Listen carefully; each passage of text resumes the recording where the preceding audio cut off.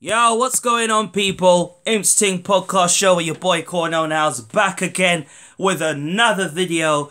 Um, before we get into the video, please leave a like and a subscribe to my YouTube channel. Also, leave a comment down below and tell me your thoughts about um, what I'm about to reveal to you today. Before we get into the video as well, thank you to the 223 subscribers who have subscribed to my YouTube channel. Really means a lot. Um, without further ado, let's get to the video. Back again up the imps, man. So today I'm talking news to do with Lincoln City. Obviously, there's um, the first the first thing that's come on onto my mind is that Burton Road Burton Road Chip Shop has officially decided to invest in the Stacey West stand. Obviously, the Stacey West stand um, has been going through developments throughout the summer. Um, even when the season um, before the season started as well. Especially with it, especially with the pitch going through uh, relevant, going through developments and stuff. Um, it is amazing to see, um, you know, the Stacey West stand getting a lot of help, getting a lot of investment, getting put into the into the stand because it does need it, especially to if they want to fit more fans in or fit fit more Imps fans in, fit more Wayne fans in it. You, um, I think that this is just really amazing um, opportunity, and this is this is this goes down to the dedication of Liam Scully, Mr. Liam Scully. Big Bigging up to you, of course, Clive Nates and everybody that has got involved, and the staffing as well too, and the Stacey and the Red Imps Community Trust. Brilliant as usual. Um, so that is the first thing that's going on in today's news, in today's news for Lincoln City. And also, Lewis Fiorini, forward slash Lewis Tiago Fiorini, is, has been selected for the under 21s for Scotland. This is an amazing moment for him.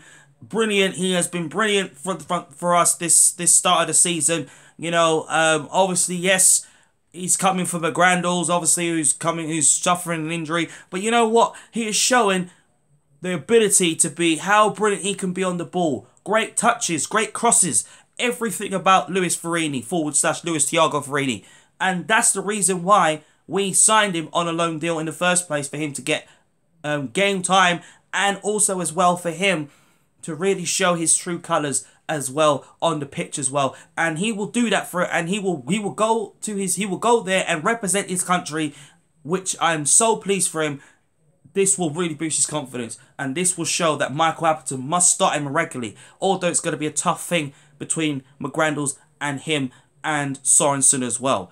Um, and also as well in, in Lincoln City news as well is that us Lincoln City, instead of the, the sponsor being Virgin Wines on FIFA 22, so if you're playing as a if you're playing as Lincoln City on a career mode, obviously it's instead of it saying Virgin Wines, it's gonna say the University of Lincoln. If you haven't seen it, check it out on on check it out on there um, on Facebook, Instagram, Twitter, and stuff.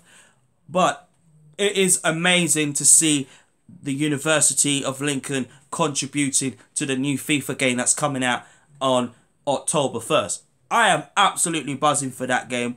I can't wait to actually even create my own team and my ultimate team, but more my my club, Imps United, and then me doing a series of it as well too.